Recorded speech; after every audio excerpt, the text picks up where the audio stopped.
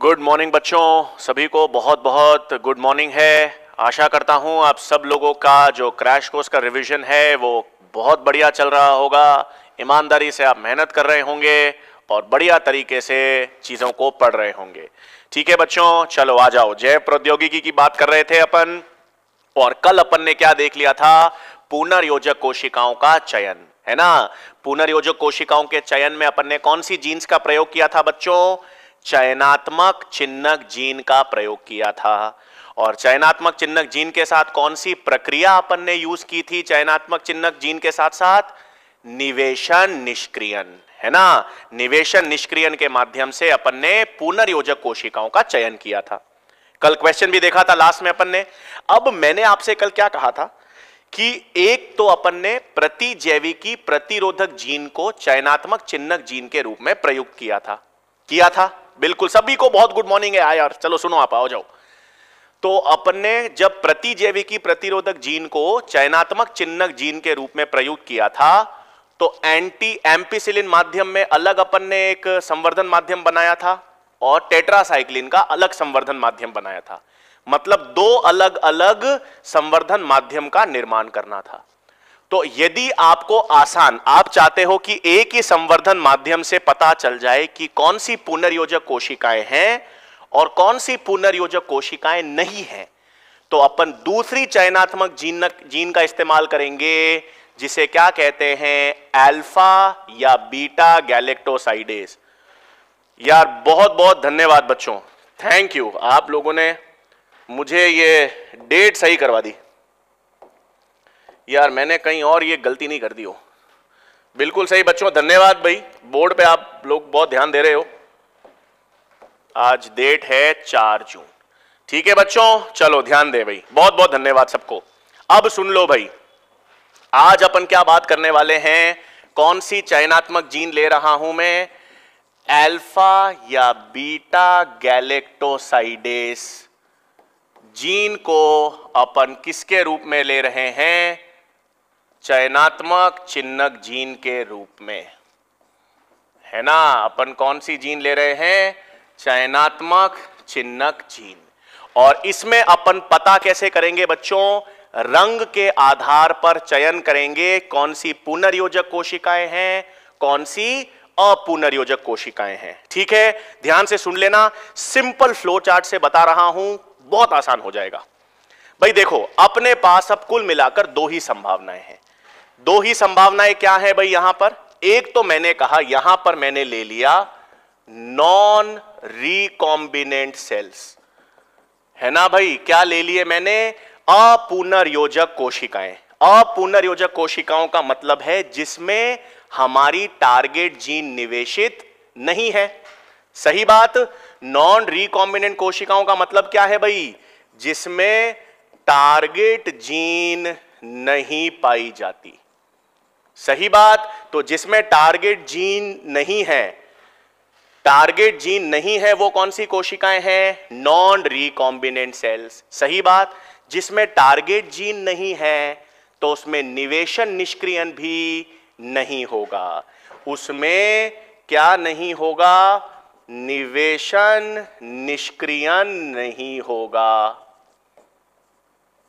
सही हाँ बच्चों, आज थोड़ा सा टाइम टेबल चेंज था। कोमल जी, ये हिंदी मीडियम की क्लास है इंग्लिश मीडियम की क्लास आज पहले हो गई। ठीक है? चलो। अब नॉन रिकॉम्बिनेंट सेल्स में मैंने आपसे कह दिया टारगेट जीन नहीं है। टारगेट जीन नहीं है तो निवेशन निष्क्रियन नहीं होगा। अब जब निवेशन निष्क्रियन नहीं होगा तो चयनात्मक चिन्हक जीन क्रियाशील होगी। क्रियाशील कौन सी जीन होगी भाई? बिल्कुल सही। अल्फ़ा या बीटा गैलेक्टोसाइडेस की जो जीन है, ये जीन क्या हो गई बच्चों? क्रियाशील। सही बात, भाई नॉन रिकॉम्बिनेंट सेल्स की बात हो रही है। नॉन रिकॉम्बिनेंट सेल्स में टारगेट जीन नहीं है। टारगेट जीन नहीं है मतलब निवेशन निष्क्रियन नहीं होगा। निवेशन निष्क्रिय नहीं होगा तो कौन सी जीन क्रियाशील रहेगी? अल्फ़ा या बीटा गैलेक्टोसाइडेस ये क्या करती है? एक रंगीन यानी क्रोमोजेनिक अभिकारक। क्रोमोजेनिक अभिकारक का क्या करेगी बच्चों? उपापचय। और उपापचय अगर करेगी तो रंगीन यानी कैसी कॉलोनीज आ जाएँगी बच्चों? नीली या ब्लू कॉलोनीज ठीक है, सुन लो भाई। अगर अपुनर्योजक कोशिकाएँ हैं मतलब टारगेट जीन नहीं है तो टारगेट जीन का निवेशन नहीं होगा। टारगेट जीन का निवेशन नहीं होगा तो चयनात्मक चिन्हक जीन क्रियाशील होगी। क्रियाशील होगी तो रंगीन अभिकारक का उपापचय होगा और कैसी कॉलोनीज आ जाएँगी? ब्लू कॉलोनीज सही? तो दूसरी अवस्था लू। दूसरी अवस्था मतलब जब पुनर्योजक कोशिकाएँ हैं। है ना? अब मैं क्या ले रहा हूँ बच्चों? कि पुनर्योजक कोशिकाएँ। तो यदि पुनर्योजक कोशिकाएँ हैं, इसका मतलब उसमें टारगेट जीन है। पुनर्योजक कोशिकाओं का मतलब ही है कि जिसमें टारगेट जीन है। टारगेट जीन यदि है तो निवेशन निष्क्रियन होगा। बिल्कुल सही, टारगेट जीन है तो क्या देखा जाएगा बच्चों? निवेशन निष्क्रियन देखा जाएगा। निवेशन निष्क्रियन होगा तो कौन निष्क्रिय हो जाएगी? चयनात्मक चिन्हक जीन निष्क्रिय हो जाएगी। मतलब अल्फ़ा या बीटा गैलेक्टोसाइडेस जो जीन है, वो क्या हो गई? निष्क्रिय। वो निष्क्रिय होगी तो रंगीन अभिकारक, क्रोमोजेनिक अभिकारक का उपापचय नहीं होगा और नहीं होगा तो आपके पास कैसी कॉलोनीज आएँगी?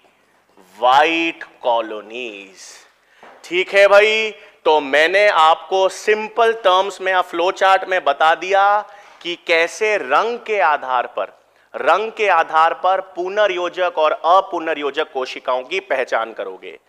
अगर ब्लू कॉलोनीज आ रही हैं, जीवाणु का नीली कॉलोनीज आ रही हैं मतलब कोशिकाएँ कौन सी हैं? नॉन रिकॉम्बिनेंट और यदि व्हाइट कॉलोनीज आ रही हैं, इसका मतलब कौन सी कोशिकाएँ हैं? रिकॉम्बिनेंट क्लियर है? अगर क्लियर है चीज़ तो आप मुझे थम्स अप करके बता दो। आगे चलते हैं अपन। ठीक है भाई? तो अपन ने चयनात्मक चिन्हक जीन किसे यूज़ किया बच्चों? अल्फ़ा या बीटा गैलेक्टोसाइडेस जीन को यूज़ किया। क्लियर है बच्चों? शिवम जी स्पूलिंग अभी बता रहा हूँ बेटा। अभी अपन पहुँचेंगे स्पूलिंग पे भी। मैं बताऊँगा शिवम जी ठीक है? तो अपने पुनर्योजक कोशिकाओं का चयन कर लिया है। ठीक है भाई? चलूँ आगे। अब देखो भाई।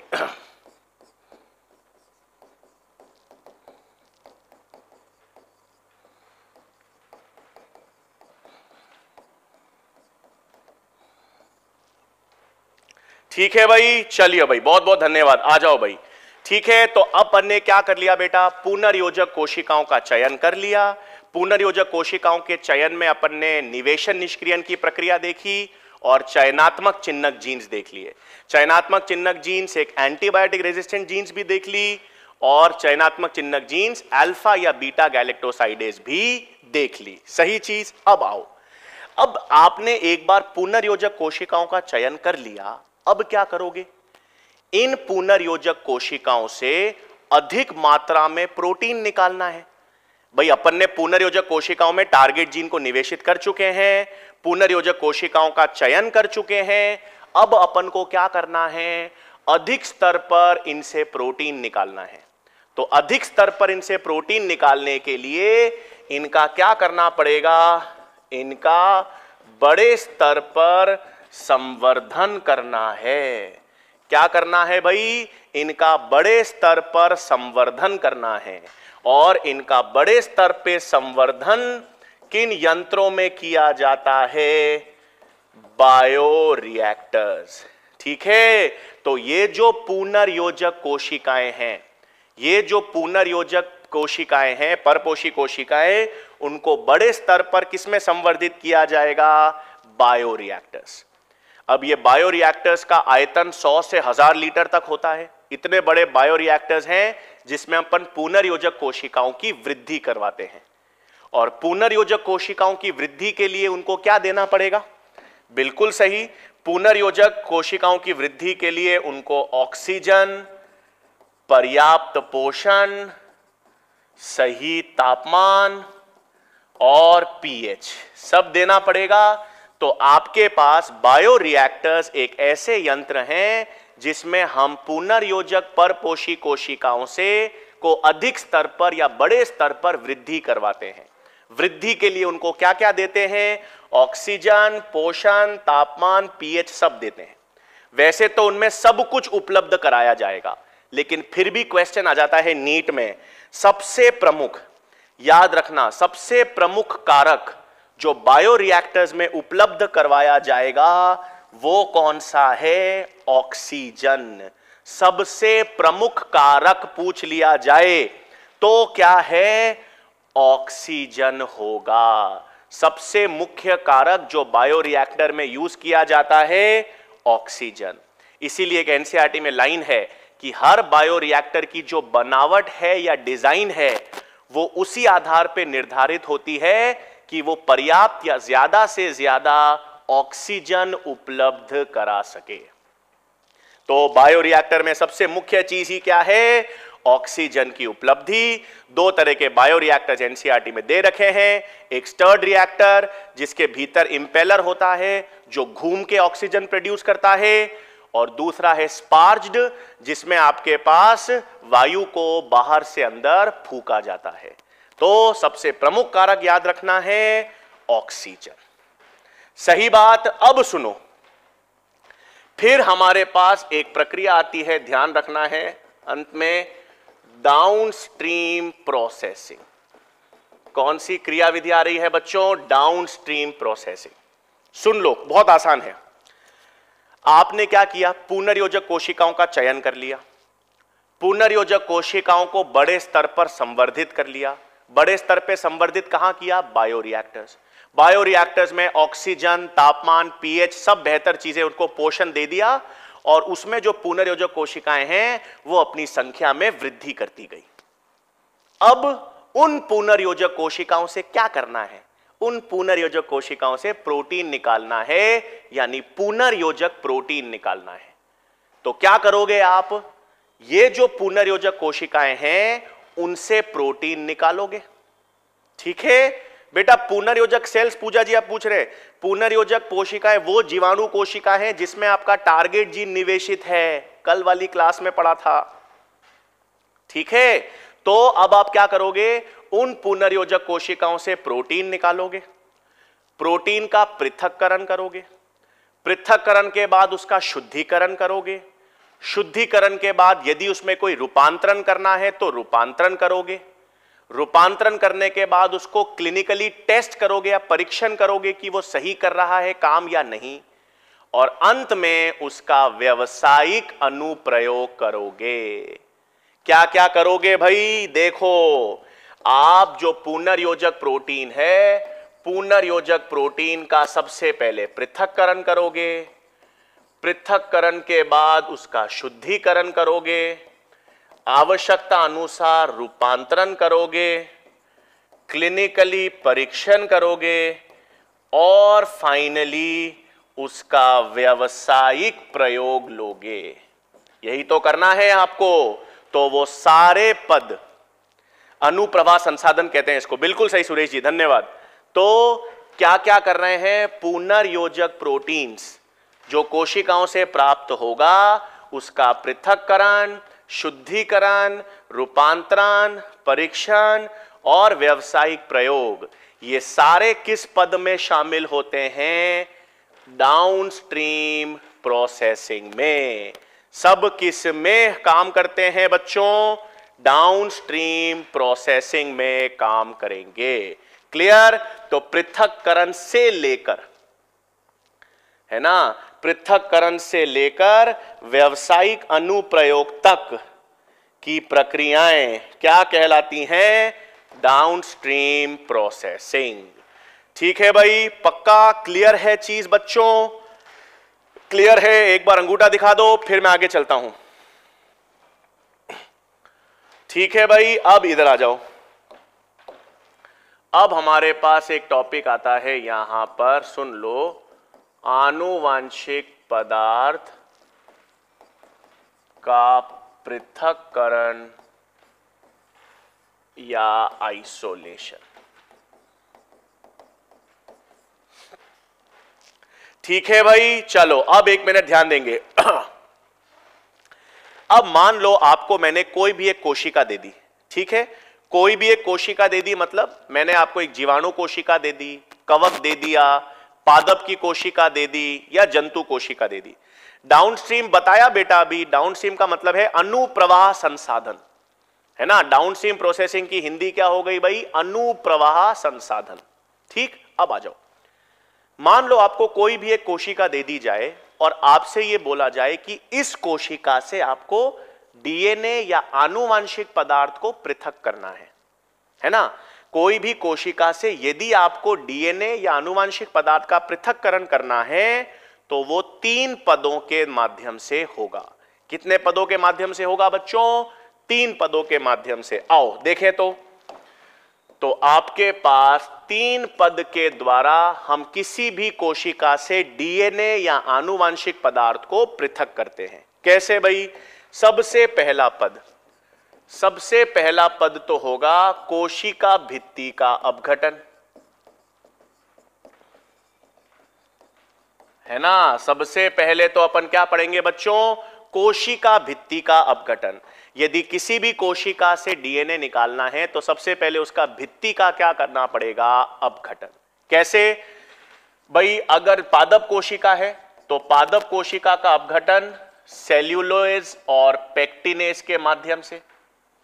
अगर कवक है तो कवक की कोशिका भित्ति काइटिन से बनी होती है। कौन सी एंजाइम? काइटिनेस। जीवाणु की कोशिका भित्ति का अपघटन कौन सी एंजाइम से होता है बच्चों?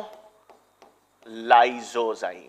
सही बात तो जीवाणु कोशिका भित्ति को किससे नष्ट किया जाता है? लाइजोजोम कवक की कोशिका भित्ति को किससे नष्ट किया जाता है? काइटिनेज। और सेल्यूलेज और पेक्टिनेजेस से क्या होता है भाई? पादपों की कोशिका भित्ति। ठीक है? तो सबसे पहला पद तो अपन ने देख लिया, क्या है? कोशिका भित्ति को अपघटित कर लिया। अब जैसे ही आपने कोशिका भित्ति को अपघटित कर लिया, उस कोशिका के भीतर जैव अणु मिलेंगे। क्या क्या मिलेंगे भाई? आरएनए मिलेगा, प्रोटीन मिलेगा, कार्बोहाइड्रेट्स मिलेंगे। तो वर्मा जी ने लिखा है भाई, nucleic acid is a genetic material of all organism without exception क्या बात है वर्मा जी? धन्यवाद। तो अब मैं क्या कह रहा हूँ? सुन लो। अब आरएनए प्रोटीन कार्बोहाइड्रेट्स को हटाना पड़ेगा। सही बात? तो दूसरा पद। दूसरे पद में हम आरएनए प्रोटीन और कार्बोहाइड्रेट को हटाएँगे। है ना? कैसे हटाएँगे भाई? आरएनए को हटाने के लिए अपघटित करने के लिए आरएनएजेस एंजाइम का प्रयोग करते हैं। प्रोटीन को हटाने के लिए प्रोटीएजेस का। प्रोटीन को अपघटित करने के लिए, सुन लेना, प्रोटीन को अपघटित करने के लिए प्रोटीएजेस का यूज़ भी कर सकते हो या फिनॉल क्लोरोफॉर्म का यूज़ भी कर सकते हो, क्योंकि फिनॉल और क्लोरोफॉर्म जो है, वो प्रोटीन्स को विकृतिकृत कर देते हैं। तो एनसीआरटी में प्रोटीएजेस लिखा हुआ है। आप फिनॉल और क्लोरोफॉर्म से भी प्रोटीन को हटा सकते हो। कार्बोहाइड्रेट को हटाने के लिए, है ना? कार्बोहाइड्रेट को हटाने के लिए एक रासायनिक पदार्थ का यूज़ किया जाता है C T A B cetyl trimethylene ammonium bromide इस रसायन का यूज़ किस लिए किया जाता है? कार्बोहाइड्रेट को हटाने के लिए। ये एनसीआरटी में नहीं दे रखा बट याद रखना है। और तीसरी और आखिरी पद, अब क्या बच गया भाई? आपने कोशिका भित्ति को तोड़ दिया, आरएनए प्रोटीन कार्बोहाइड्रेट को हटा दिया, अब क्या कर लोगे? अब हमको डीएनए का अवक्षेपण, यानी क्या करना है? प्रेसिपिटेशन तो डीएनए का जब अवक्षेपण करते हो तो किसका प्रयोग करते हो? शीत इथेनॉल का। आप एक ग्लास रॉड लेते हो, ग्लास रॉड को शीत शीत या चिल्ड इथेनॉल में डिप करते हो और डीएनए उसके ऊपर घूम जाता है। और डीएनए जब उस पर घूम जाता है, उसी प्रक्रिया को हम क्या कहते हैं? स्पूलिंग। तो डीएनए का अवक्षेपण किसके माध्यम से हो रहा है? चिल्ड इथेनॉल के माध्यम से और उस प्रक्रिया को क्या कहेंगे? स्पूलिंग। तो हमने आनुवांशिक पदार्थ का पृथककरण कर लिया। कितने पदों के द्वारा? तीन। भित्ति का अपघटन, आरएनए प्रोटीन कार्बोहाइड्रेट, डीएनए का अवक्षेपण। बेटा, इसका full form cetyl trimethylene ammonium bromide. ठीक है भाई? क्लियर है चीज़? बिल्कुल। अब आज अपन किसके बारे में पढ़ते हैं बच्चों? चलो आ जाओ। आज हम पढ़ेंगे अब नेक्स्ट प्रक्रिया पॉलीमरेज चेन रिएक्शन किसकी बात करेंगे बच्चों? पॉलीमरेज चेन रिएक्शन अब पॉलीमरेज चेन रिएक्शन जो तकनीक है, वो आपको पता ही है सबको। किसने विकसित की है बच्चों? कैरी मुलिस तो पीसीआर की जो, बेटा आरएनएजेस जो है ना आरएनएजेस जो हैं, वो आरएनए को नष्ट या अपघटित करती हैं। आरएनएजेस एक न्यूक्लियसेस हैं, जो आरएनए को तोड़ती हैं। ठीक भाई तो पीसीआर की तकनीक किसने विकसित की है भाई? कैरी मुलिस ने। अब क्या क्या ध्यान है आपको? सुन लो पहली चीज़ तो। पीसीआर की जो तकनीक है, ये एक ऐसी क्रियाविधि है, जिसके माध्यम से हम डीएनए की मात्रा को बढ़ाते हैं। है ना? डीएनए की मात्रा बढ़ाना का मतलब है डीएनए की मात्रा को आवर्धित करते हैं। और डीएनए की मात्रा बढ़ रही है, इसका मतलब किसी भी जीन को या किसी भी जीन की हम कई सारी कॉपीज बना सकते हैं। सही बात? तो पीसीआर के माध्यम से क्या ध्यान में रखना है? पीसीआर एक ऐसी क्रियाविधि है जिसके माध्यम से हम डीएनए की मात्रा को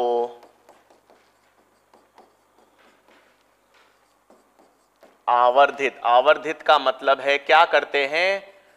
एम्पलीफाई करते हैं। डीएनए की मात्रा को बढ़ाते हैं या जीन की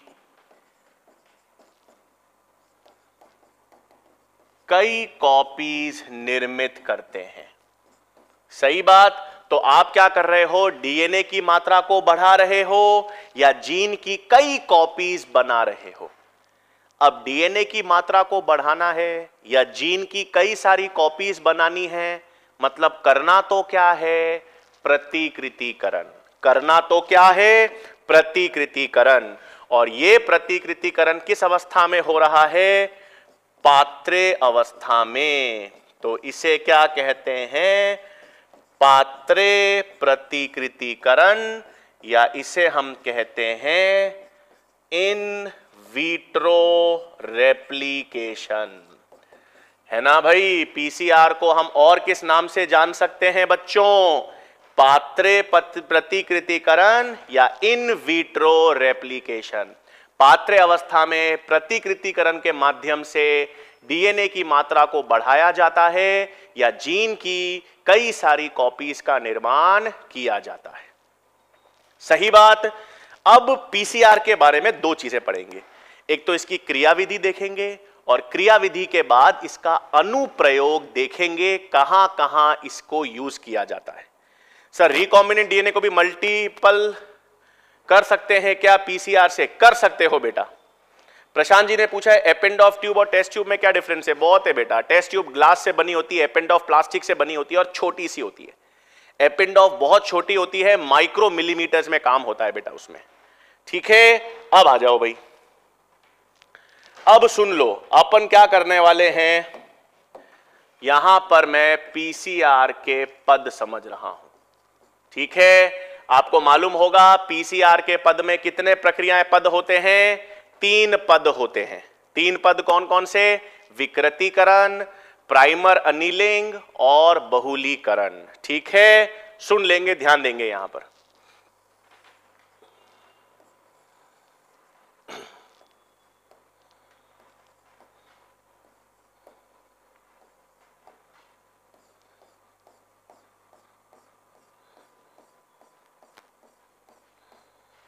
ठीक है भाई, ये आपके पास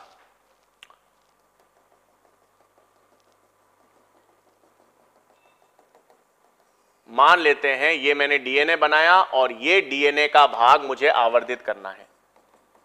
इस डीएनए भाग का क्या करना है बच्चों? आवर्धन। ठीक है, अब एक चीज़ याद रखना। मैं हमेशा कहता हूँ, आणविक जैविकी जो होती है, आणविक जैविकी का अनुप्रयोग ही हम लोग आनुवांशिक अभियांत्रिकी में करते हैं। करते हैं ना? कैसे?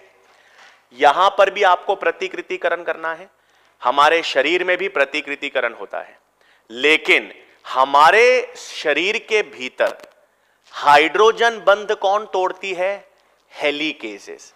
हमारे शरीर के भीतर प्रतिकृतिकरण का प्रारंभ ओराई स्थल से होता है यानी ओराई स्थल से हाइड्रोजन बंध टूटने लगते हैं और उसको कौन तोड़ता है? हेलिकेसेस। अनवाइंडिंग एंजाइम यहाँ पर अपन हेलिकेसेस का प्रयोग नहीं करते, क्योंकि हमको पता है हाइड्रोजन बंध को तो अपन अधिक तापमान पर भी तोड़ सकते हैं।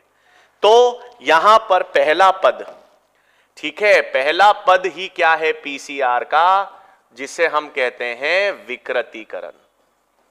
विकृतीकरण या डीनेचरेशन किस तापमान पर करते हैं? 90 से बरानवे डिग्री सेंटीग्रेड। वैसे भी यदि आप डीएनए को, उमेश जी एक सेकेंड बेटा, बीच में मैं एक बार समझा दूँ, फिर आपको यह भी बता दूँगा क्यों करते हैं। ठीक है? सुन लो। तो विकृतीकरण में अपन क्या कर रहे हैं बच्चों? अधिक तापमान 80 डिग्री सेंटीग्रेड से अधिक अगर आप डीएनए का उपचार करो तापमान पर तो डीएनए के हाइड्रोजन बंध टूट जाते हैं और डीएनए एकल रज्जुक में परिवर्तित हो जाता है। तो यहाँ पर अपन ने 90 डिग्री सेंटीग्रेड से बरानवे डिग्री सेंटीग्रेड लिया। इससे क्या हो गया आपके पास? हाइड्रोजन बंध टूट गए। और जैसे ही हाइड्रोजन बंध टूटेंगे, जैसे ही हाइड्रोजन बंध टूटते हैं, डीएनए किसमें परिवर्तित हो जाता है? एकल रज्जुक में। सही बात, हाइड्रोजन बंद तोड़ दो, हाइड्रोजन बंद टूट जाएँगे, डीएनए या टेम्पलेट रज्जुक, एकल रज्जुक में परिवर्तित हो जाएँगे। क्या किया? विकृतीकरण, इस हाई टेम्परेचर पर हाइड्रोजन बंध टूट जाते हैं।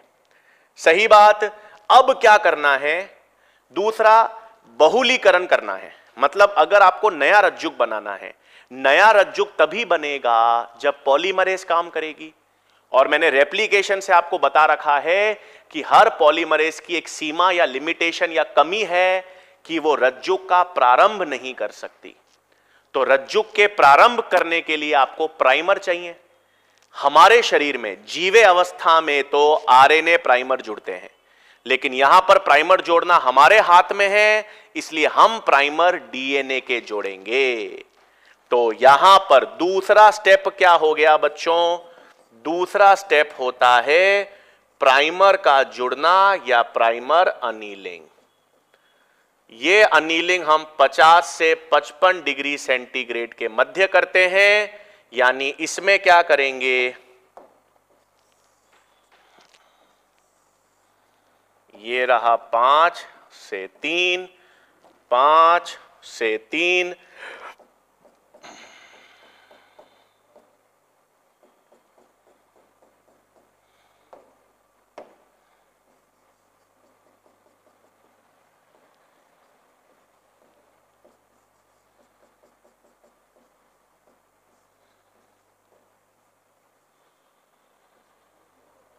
ठीक है भाई? तो हमने क्या किया भाई? दो डीएनए के प्राइमर। कितने? दो डीएनए प्राइमर अपन ने टेम्पलेट रज्जुक पर जोड़ दिए। जोड़ने के लिए तापमान क्या होगा? कम। और कौन सा तापमान हम क्या लेते हैं? 50 से 55 डिग्री सेंटीग्रेड का तापमान लेंगे। सही बात? प्राइमर जुड़ गए। अब आखिरी स्टेप क्या आ गया बच्चों? यहाँ ले लूँ, आखिरी स्टेप आ जाता है बहुलीकरण। ठीक है, बहुलीकरण में हम क्या यूज़ करते हैं? पॉलीमरेजेस डीएनए पॉलीमरेज का सहकारक क्या होता है? मैग्नीशियम देखो भाई मैग्नीशियम बहुत इंपॉर्टेंट है क्योंकि मैग्नीशियम कई सारी एंजाइम्स का सहकारक है। ठीक है? हाँ बेटा थर्मोसाइक्लर से टेम्परेचर को बढ़ाया या घटाया जा सकता है, बिल्कुल सही। मैं आपसे कह रहा हूँ, जो मैग्नीशियम है ना, मैग्नीशियम बहुत सारी एंजाइम्स का सहकारक है, याद रखना। डीएनए पॉलीमरेज का सहकारक मैग्नीशियम है। फोटोसिंथेसिस पढ़ा, उसमें अपन ने रुबिस्को और पेप कार्बोक्सिलेस उनका सहकारक भी मैग्नीशियम है। श्वसन रेस्पिरेशन पढ़ा था, उसमें पायरुवेट डिहाइड्रोजिनेस के अंदर भी सहकारक एक कौन सा है, मैग्नीशियम है। तो ये सारे सहकारक हेक्सोकाइनेस जो एंजाइम होती है ग्लाइकोलाइसिस के पहले पद में ठीक है? पहले पद में जो ग्लाइकोलाइसिस की हेक्सोकाइनेस एंजाइम होती है, उसका सहकारक भी मैग्नीशियम होता है। तो इन सब एंजाइम्स का सहकारक क्या याद में रखना है? मैग्नीशियम। सही बात? तो पॉलीमरेजेस और आपको डीएनटीपीस डीएनटीपीस का प्रयोग करेंगे और आपके पास नए डीएनए का निर्माण हो जाएगा। ठीक है भाई? तो आपके पास कितने स्टेप है भाई पीसीआर में? तीन। कौन कौन से? विकृतीकरण, जिसमें अपन ने डीएनए को एकल रज्जुक में परिवर्तित किया। प्राइमर अनिलिंग जिसमें अपन ने दो डीएनए को जोड़ा। और बहुलीकरण होता है बहत्तर डिग्री सेंटीग्रेड पर, जिसमें पॉलीमरेजेस और डीएनटीपीस के द्वारा नया डीएनए बना दिया। सही बात है, अब एक सुन लो। एक बहुत इंपॉर्टेंट चीज़। जब पीसीआर की खोज, जब पीसीआर बनाया गया था ना यूज़ किया गया था तो उसके प्रारंभ में तो हम लोग सामान्य डीएनए पॉलीमरेजेस यूज़ करते थे। लेकिन उसमें प्रॉब्लम क्या थी कि हर पीसीआर चक्र, एक चक्र के बाद आपको एक नई डीएनए पॉलीमरेजेस डालनी पड़ती थी। नई क्यों डालनी पड़ती थी? क्योंकि भाई, इस अधिक तापमान पर सामान्य पॉलीमरेज विकृतीकृत हो जाती थी। भाई, पॉलीमरेज भी तो प्रोटीन है और प्रोटीन अधिक तापमान पर विकृतीकृत हो जाता है। तो धीरे धीरे यह ज़रूरत पड़ी कि भाई पीसीआर में एक ऐसी एंजाइम की ज़रूरत है जो अधिक ताप पर स्थायी रहे। और अधिक ताप पर स्थायी कौन से जीवाणु रहते हैं? आर की जीवाणु। कौन से आर की जीवाणु? थर्मो एसिडोफाइल तो एक आर की जीवाणु देखा गया भाई थर्मस एक्वेटिकस और उससे एक पॉलीमरेज एंजाइम निकाली गई। कौन सी भाई? टैक पॉलीमरेज तो बिल्कुल सही। पीसीआर में विशिष्ट पॉलीमरेज एंजाइम का प्रयोग किया जाता है। कौन सी विशेष पॉलीमरेज एंजाइम का प्रयोग बच्चों? टैग पॉलीमरेज का। इसका नाम ही टैग पॉलीमरेज क्यों है? क्योंकि ये एक आर्की जीवाणु से प्राप्त होती है, जिसका नाम है थर्मस एक्वेटिकस। किससे प्राप्त होती है? आर्की जीवाणु थर्मस एक्वेटिकस। और इसका विशेष लक्षण यह है कि ये अधिक तापमान पर भी स्थायी रहती है। ये कहते हैं 120 डिग्री सेंटीग्रेड तक इस तापमान तक इस एंजाइम को कोई फ़र्क नहीं पड़ता। तो पीसीआर में विशेष एंजाइम कौन सी यूज़ की जाती है?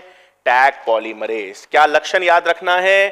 ताप स्थायी एंजाइम है और किस आर की जीवाणु से प्राप्त होती है?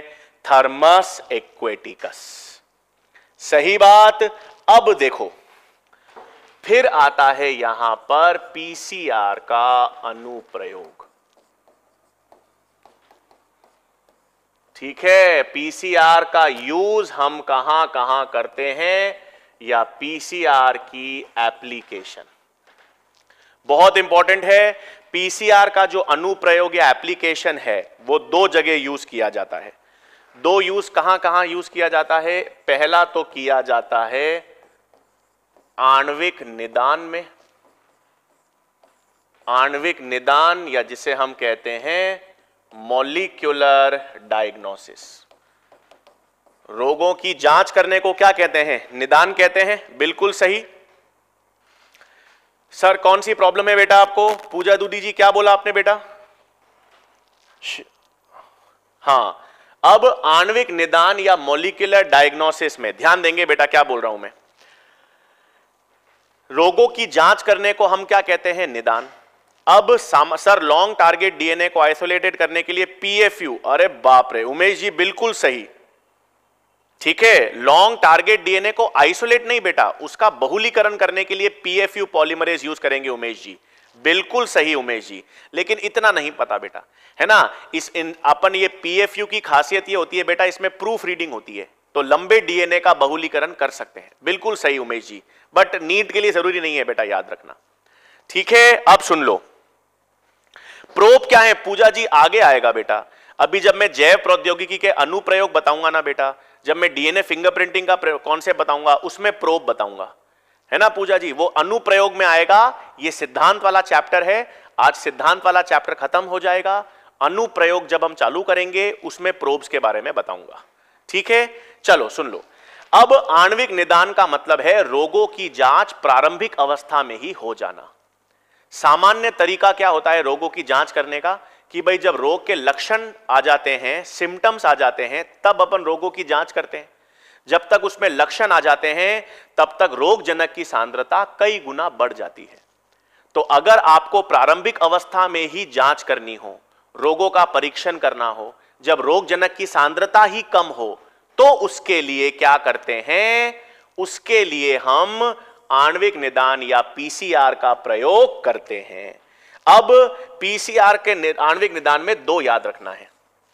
दो क्या याद रखना है? एक तो आपको एचआईवी आशंकित व्यक्तियों में।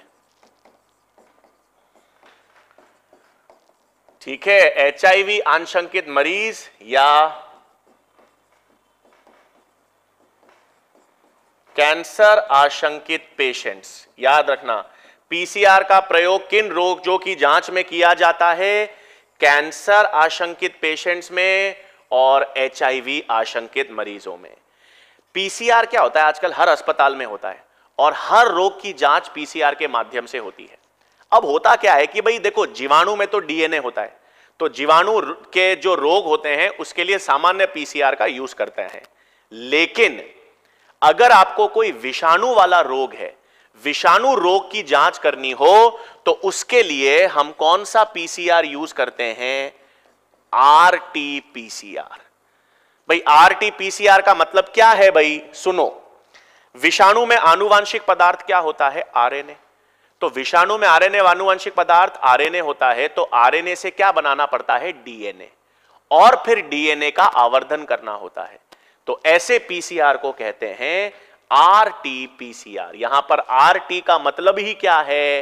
रिवर्स ट्रांसक्रिप्टेज तो पहले आरएनए से डीएनए बनाया जाता है, फिर उसका आवर्धन करता है। ठीक है भाई? अब आणविक निदान पहला हो गया, दूसरा। दूसरा आपको अनुप्रयोग पता होना चाहिए कि ये जो है, वो डीएनए फिंगर प्रिंटिंग की संवेदनशीलता को बढ़ा देता है। ठीक है भाई तो पीसीआर के दो अनुप्रयोग हैं। दूसरा अनुप्रयोग है कि ये डीएनए फिंगरप्रिंटिंग की संवेदनशीलता को बढ़ाता है। ये कैसे पढ़ते हैं भाई? अभी जब अपन आगे डीएनए फिंगरप्रिंटिंग पढ़ेंगे तो क्या होता है? डीएनए फिंगरप्रिंटिंग में फोरेंसिक्स में यूज़ करते हैं। तो फोरेंसिक्स मतलब जहाँ पे कोई क्राइम हुआ है, ठीक है ना? तो जहाँ पर कोई क्राइम हुआ है, वहाँ पर आपको बाल के हेयर फॉलिकल्स मिलते हैं। हेयर फॉलिकल्स या आपको रुधिर ब्लड सैंपल मिलता है। पर वो इतना कम मात्रा में उसमें डीएनए होता है कि उसका अध्ययन नहीं कर सकते। तो आप क्या करते हो? उस डीएनए को आवर्धित करते हो। डीएनए को आवर्धित करते हो किस प्रक्रिया के द्वारा? पीसीआर के द्वारा। तो पीसीआर के द्वारा आप डीएनए को आवर्धित करते हो। इसीलिए ये प्रक्रिया किसकी संवेदनशीलता को बढ़ाने में काम करती है? डीएनए फिंगर प्रिंटिंग ठीक है बच्चों? तो दो मुख्य अनुप्रयोग किसके हैं? पीसीआर के। एक आणविक निदान हो गया और दूसरा डीएनए फिंगर प्रिंटिंग की संवेदनशीलता को बढ़ा देना। ठीक है जीसी रिच डीएनए के लिए हाई टेम्परेचर चाहिए। उमेश जी, बिल्कुल सही। जी और सी के मध्य तीन हाइड्रोजन बंद होते हैं बेटा। ए और टी के मध्य दो हाइड्रोजन बंद होते हैं। तो जिस डीएनए में जीसी समूह ज़्यादा होगा, उसमें हाइड्रोजन बंध ज़्यादा होंगे। इसलिए उसको तोड़ने के लिए और अधिक तापमान चाहिएगा। सही बात निमे ठीक है अच्छा एक सवाल करें भाई एक बार। आ जाओ तो। मैंने कहा एक डीएनए अणु है। एक डीएनए अणु को 10 पीसीआर चक्र करवाया गया। ठीक है, करें तो भाई। एक डीएनए अणु को 10 पीसीआर चक्र करवाए गए तो कितने गुना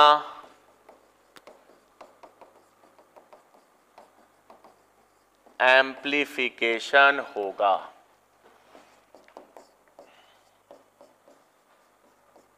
लगभग दस गुना लगभग सौ गुना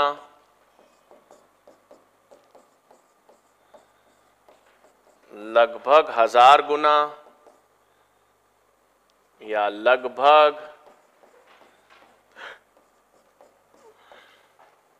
ठीक है भाई, चलो सुन लो अब एक बार। पीसीआर मैंने क्वेश्चन दे दिया, कितने गुना तक आवर्धन करना है? तो अगर एक दस एक डीएनए अणु है, एक डीएनए अणु को 10 पीसीआर चक्र किए गए, यदि एक डीएनए के 10 पीसीआर चक्र किए गए तो कितने गुना तक आवर्धन होगा? बताओ तो जवाब, लगभग 10 गुना 100 गुना, हज़ार गुना या दस हज़ार गुना? एक जवाब आया, सचिन जी का D D D Umesh ji, Suresh ji. Suresh ji, बहुत बढ़िया। उमेश जी, बहुत बढ़िया। पूजा जी, सही। शिवम जी, सही। नवजोत सिंह सिद्धू, अरे तेरी, बिल्कुल सही। नीलम जी, सही। हेमंत जी, सही। जवाब इसका क्या है? ठीक है भाई, लगभग कितने गुना? हज़ार गुना। जिन्होंने जवाब सही दिया है, बहुत अच्छी बात है, जो गलती कर रहे हैं, सुन लो। पीसीआर का मतलब है, करना तो प्रतिकृतिकरण है। यदि प्रतिकृतिकरण करना है तो प्रतिकृतिकरण में क्या होता है बच्चों? एक डीएनए से दो डीएनए बनते हैं, दो से चार बनते हैं, चार से आठ बनते हैं, आठ से सोलह बनते हैं सोलह से बत्तीस बनते हैं। ऐसा ही होता है, एक से दो दो से चार चार से आठ आठ से सोलह। तो क्या सूत्र काम करता है भाई? टू की पावर एन जिसमें एन क्या होता है? कितना प्रतिकृतिकरण हुआ है? तो 10 पीसीआर का मतलब है भाई 10 प्रतिकृतिकरण हुआ। दो की पावर 10 होती है 1024 यानी कितने गुना हो गया भाई? हज़ार गुना।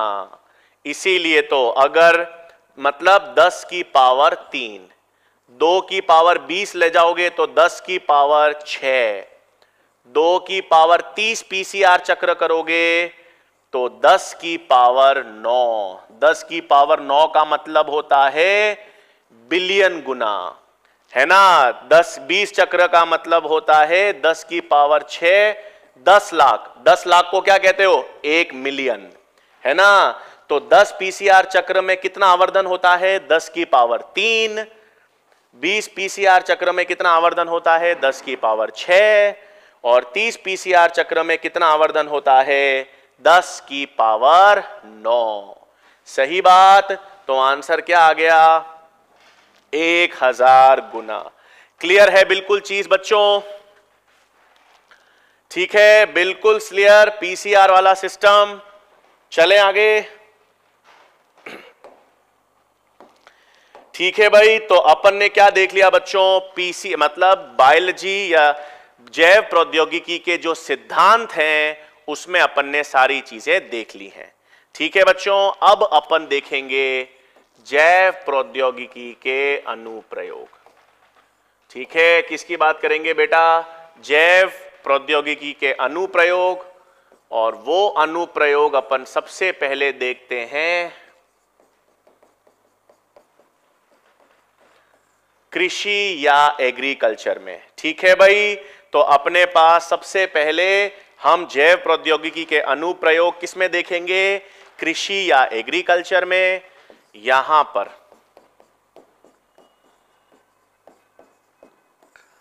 जीएम प्लांट्स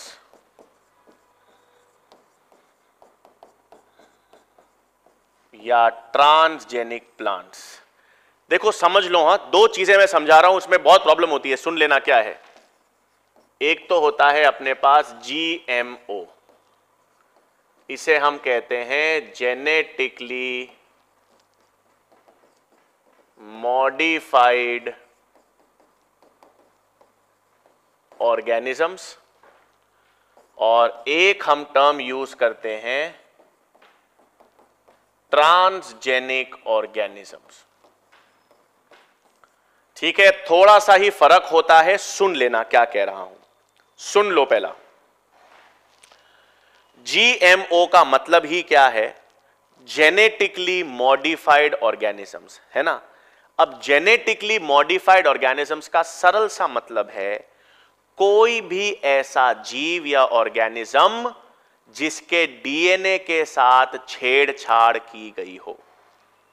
कोई भी ऐसा ऑर्गेनिज्म जिसमें डीएनए के साथ छेड़छाड़ की गई हो, उसके डीएनए के क्रम को परिवर्तित किया गया हो, कोई नया डीएनए निवेशित किया गया हो, कोई डीएनए भाग को हटा दिया गया हो, उत्परिवर्तित कर दिया गया हो, उन सभी जीवों या ऑर्गेनिजम्स को क्या कहते हैं?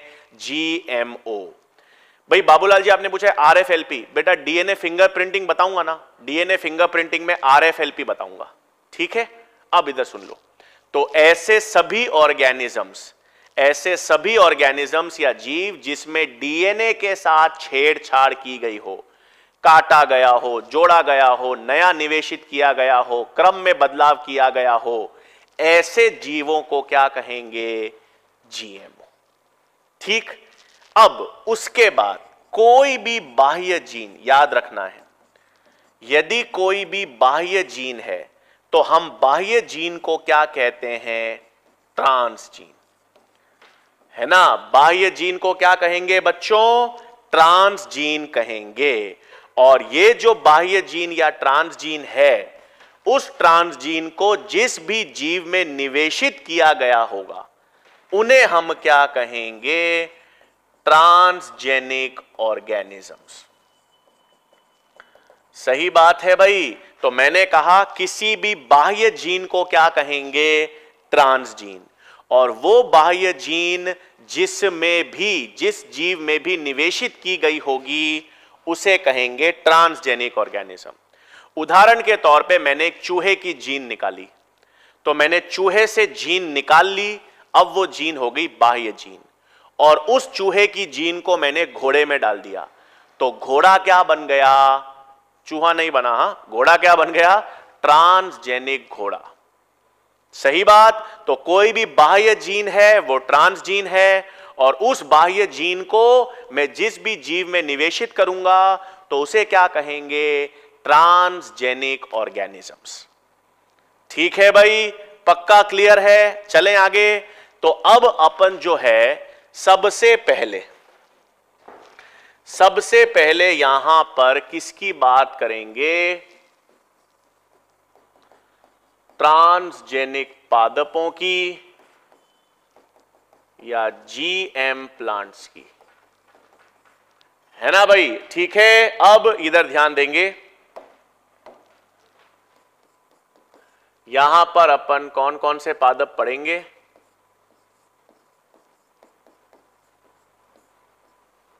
तंबाकू पादप।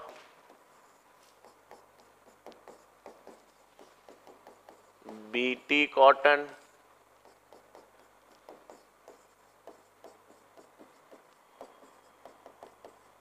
Golden rice.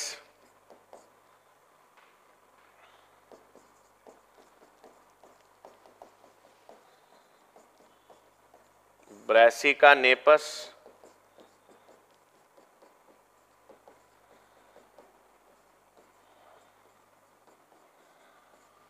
Flavr Savr.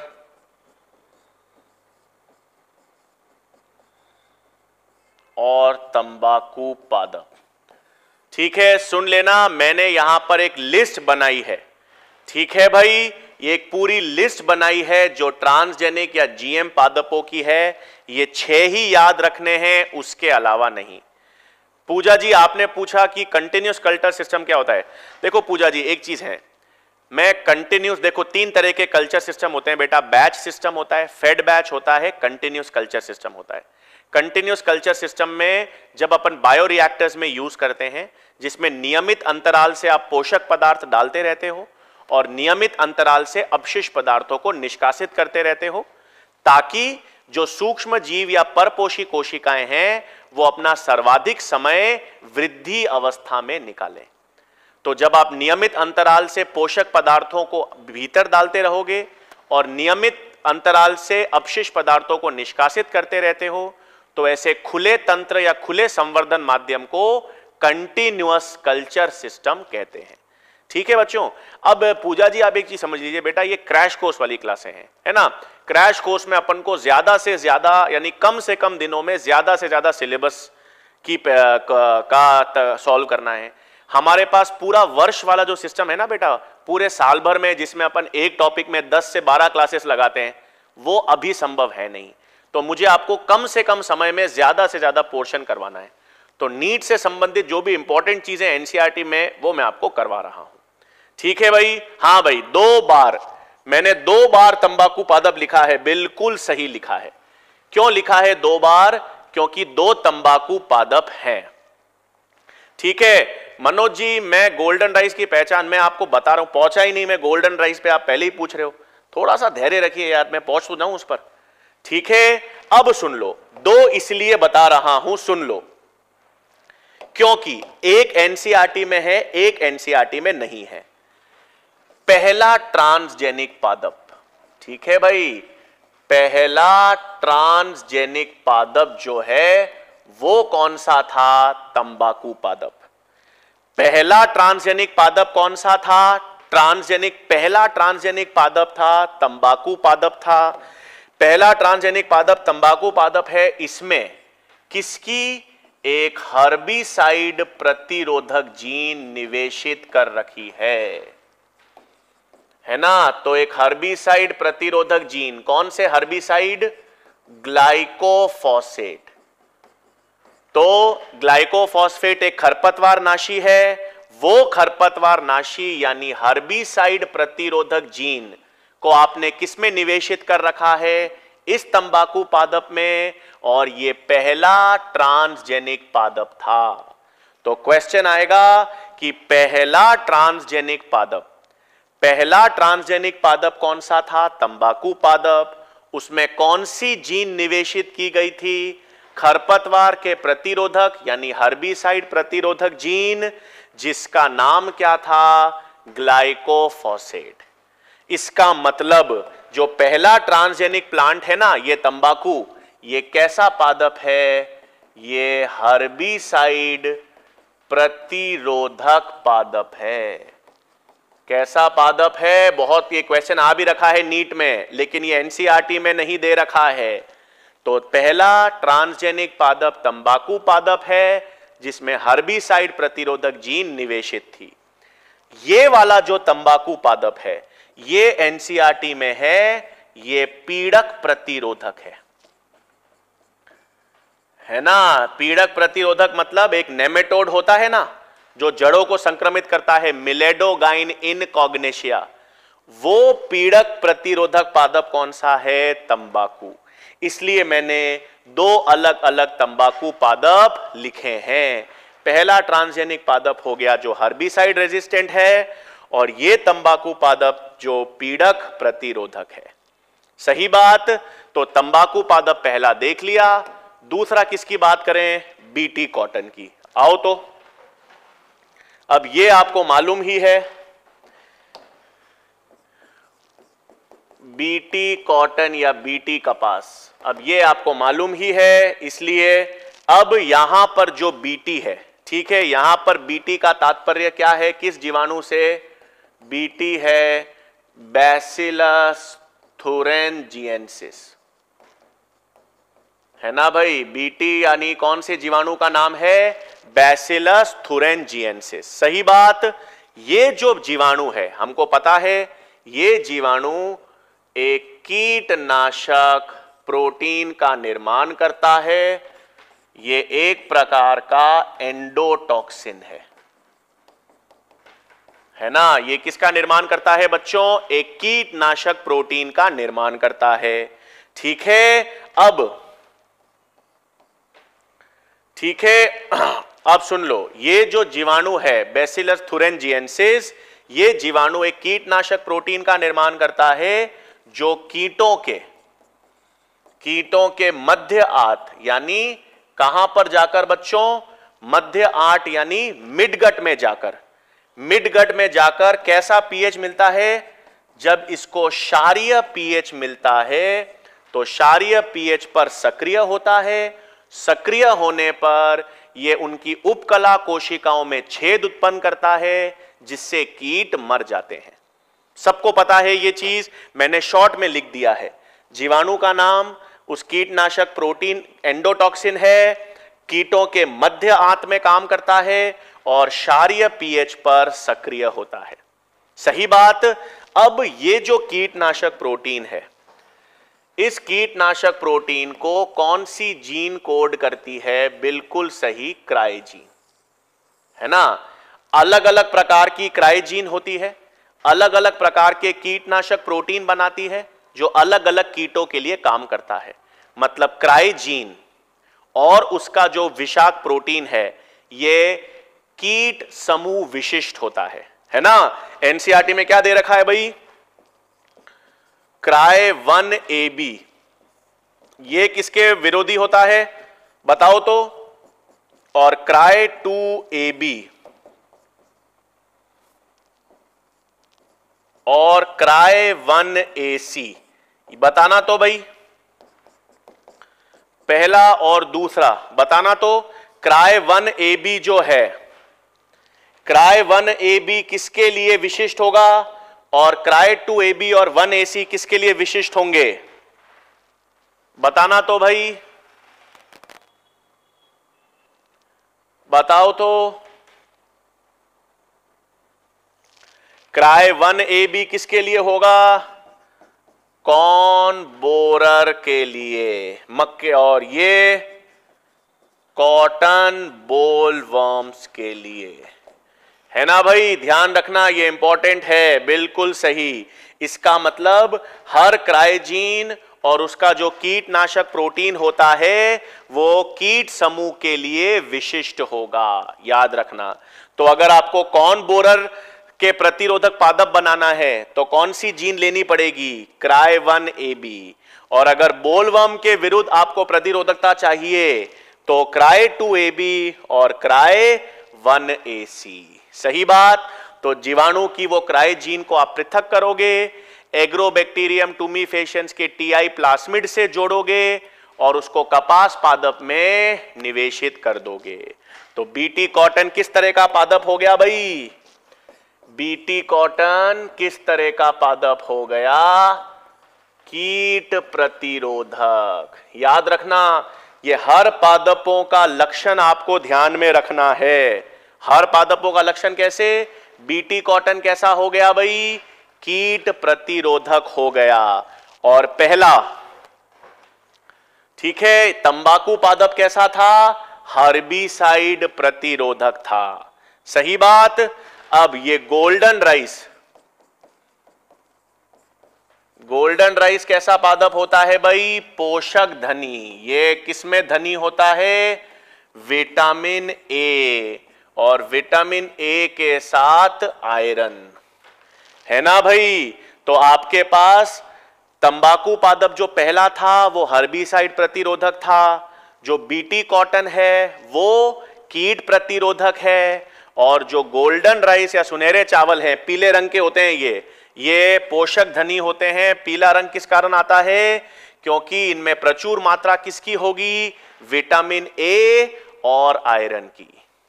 सही बात बच्चों तो अपन ने तंबाकू पादप बीटी कॉटन और गोल्डन राइस देख लिए। आगे के ये तीनों जो ट्रांसजेनिक पादप हैं, ये अपन कल या नेक्स्ट वाली क्लास में देखेंगे। बेटा Umesh ji lepidopterans lepidopterans coleopterans और डिप्टेरेंस ये कीटों के गण या ऑर्डर हैं। और उसमें याद रखना, सबसे बड़ा गण या ऑर्डर कीटों का कौन सा होता है? डिप्टेरेंस जिसमें मक्खियाँ और मच्छर शामिल होते हैं। ठीक है? तो आशा करता हूँ आपको क्लियर होगा। कल पढ़ेंगे बेटा अपन हेमंत जी। आरएनए अंतरशेप या आरएनए इंटरफेरेंस की क्रियाविधि कल हम देखेंगे। ठीक है बच्चों? चलो, धन्यवाद।